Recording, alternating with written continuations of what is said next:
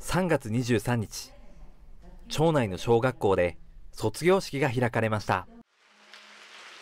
今年度、町内で卒業を迎えた小学生は121人で、取材した平城小学校では36人が卒業を迎え、式の模様は愛南チャンネルで生中継されました。時代は今変わろうとしています。しかし、いつも変わらず、新しいことから逃げず、挑戦をし続けてください。第4、皆さんならきっとできます。